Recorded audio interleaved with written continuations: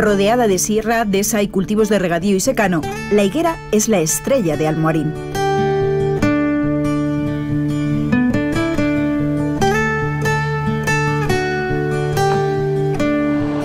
En esta cooperativa recogen tomates, maíz o aceitunas, pero su buque insignia es el higo seco. De los 500 agricultores que la conforman, más de 300 los cultivan. La variedad local se llama calabacita. Se caracteriza por su temprana madurez, su melosidad y dulzura. Para procesarlos, lo primero es clasificarlos con ayuda de esta máquina. Cada tamaño tiene su objetivo y tiene su mercado. El tamaño pequeñito no vale para envasado, pero sin embargo para molerlo, para pan de higo, sí vale. El mediano eh, le utilizamos más bien para bombones, el chocolate o otros productos derivados del higo. Y el higo gordo para llevarle a los mercados ya para, para comer, preparado. Los destinados a moler o a pan de higo deben ir sin rabito. Una treintena de personas realiza esta labor. Se pueden hacer eh, unos 3-4 mil kilos diarios. Se hace manualmente uno por uno y a navajas. Una vez calibrados, cada tamaño sigue su curso.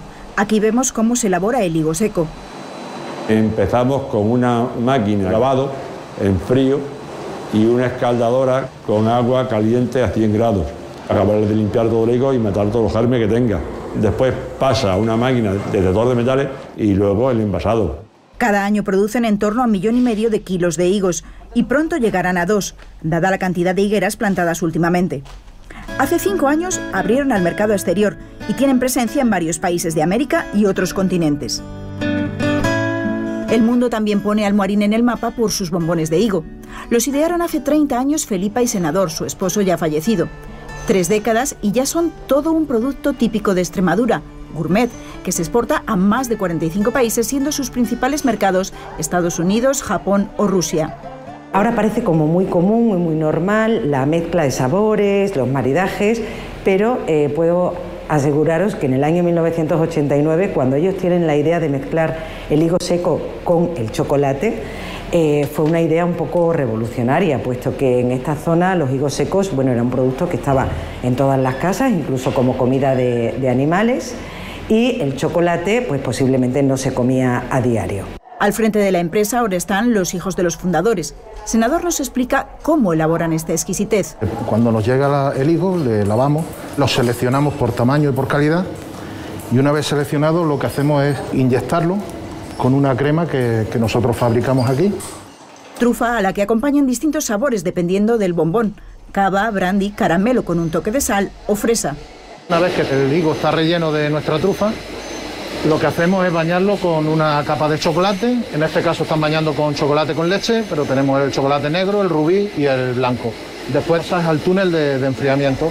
La tercera parte del proceso eh, lo envolvemos individual, pasa por el control de calidad y lo que hacemos es envasarlo en diferentes formatos.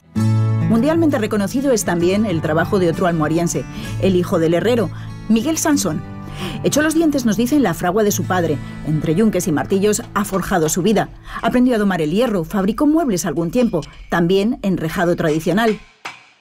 Esto es un- de una verja inspirada en la reja del monasterio de Guadalupe y se va haciendo a mano. Rejas para iglesias y barandillas inspiradas en el siglo XVII, XVI. Ese tipo de forja me gusta muchísimo. Es lo que yo he mamado de mi padre, ¿no? Hace más de 20 años empezó sus pinitos con el arte moderno. Hoy sus obras se exponen en Nueva York, París, Florencia o La Habana. Junto al taller expone réplicas en miniatura y algunas colecciones, como Sentarte, 33 sillas, cada una un recorrido por el arte, o esta, Matters Matris, Sobre el sustento creativo de, de- de la mujer como la energía que sustenta el universo, la energía femenina, ¿no? Durante el confinamiento colaboró con Cruz Roja para recaudar fondos para el COVID. Se pusieron en contacto conmigo para que hiciera una, una pieza de arte junto con Loles León, eh, Ana Belén, Rosy de Palma, que lo, lo organizaba Fashionar. Y me pidieron que hiciera una silla y hice una silla inspirado en, la- en las 3R, ¿no? Recuperar, reciclar, salió bien, se vendió. Y más arte, distintos estilos arquitectónicos, los que vemos en la iglesia del Salvador que preside la plaza principal de Almoarín. Fue declarada Monumento Histórico-Artístico en 1978. Se cataloga en torno al siglo XV, aunque ahí se encuentran restos de la época visigoda. Tiene la particularidad de, de tener un origen funerario. Hace poco se restauró un, un cuadro dedicado a los difuntos, a las ánimas del siglo XVIII, de 1770. Pues ese cuadro puede ser un poco el vestigio de que esta iglesia tenía un origen pues, funerario.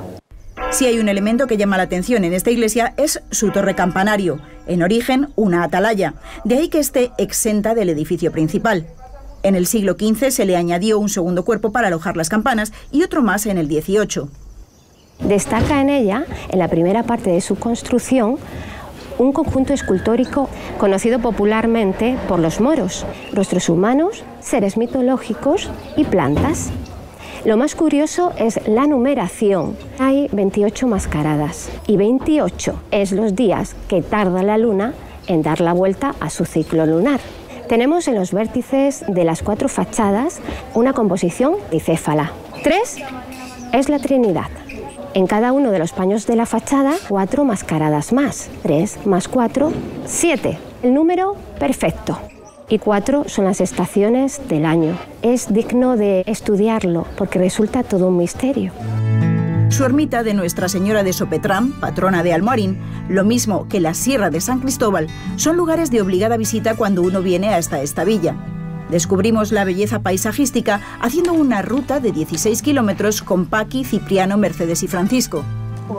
la ruta va por aquí, pues por aquí, evidentemente. La denominamos la ruta del garbanzo, que cuando terminamos la ruta le damos a todos los participantes un, cocido extremeño. La solemos hacer por el mes de marzo y en esa fecha suele estar la jara en flor, eh, el escobón, que le llamamos por aquí también. Ahora también podemos ver un poco ese colorido del otoño, que aunque no es el otoño mágico, pero es el otoño de, de que también es precioso verlo. Disfrutamos de su naturaleza y también de su rica gastronomía. Hoy vamos a comer una miloja de presa ibérica y ya que estamos en Almorín hemos aprovechado el higo. Le hemos hecho una introducción por el centro de la presa, jamón de la tierra y napado con una torta de queso también de Almorín. Márcalo en la parrilla, Manolo. Ahora vamos a pasar con un poquito de aceite de oliva, una cebolla brumoise finita, salteada, la flambeamos con un poquito de vino dulce, de aquí de la tierra también, de Extremadura, y hacemos las capas con jamón, el higo, el queso, la crema de queso, lo aderezamos con unas patatitas panaderas y napamos con queso. Y así quedaría nuestro presa ibérica terminada.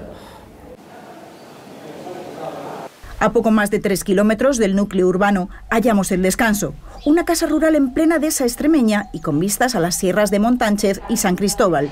Se decidió que fuera una casa rural porque es verdad que el turismo rural gustaba, esta zona tiene mucha naturaleza y entonces en 2003 empezó a funcionar y nada, 18 años. La gente viene a disfrutar de la casa, del entorno y quedarse aquí. Tenemos un apartado con barbacoa, la zona infantil, la piscina, tiene cinco habitaciones, es plena naturaleza y es eh, mm, tranquilidad. Almoarín tierra de higos, de emprendedores, un lugar tranquilo para deleite del paladar y del resto de los sentidos por sus calles de trazado medieval.